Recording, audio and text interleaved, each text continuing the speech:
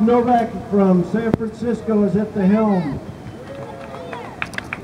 Mark and Rob, uh, Patty Thompson, Dan Adams, Nancy Novak, Matt Shaw. Yes, the second year in the Banderas Bay Regatta. The sailboat known as Shindig will host a good life in paradise. Champagne, smoked oysters, classical piano performed by the first great Nancy. Now that's a shindig. See, Jack had a shirt with that color on first. He could have just got on. I'll toast to that.